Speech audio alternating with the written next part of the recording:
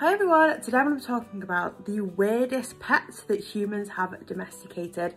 Now the first one is the pot-bellied pig. Now I've seen these a fair few times on like TV programs or YouTubers that have these as pets. If you want an intelligent pet that can do tricks, use a litter box and love you like a dog would, then this pet would be the perfect one. They are just a little bit of a weird one to have domesticated. You sort of expect them to be in a farm, not in your house. Now the next one is the sugar glider. Now these are super, super cute and kind of peculiar, but I love them.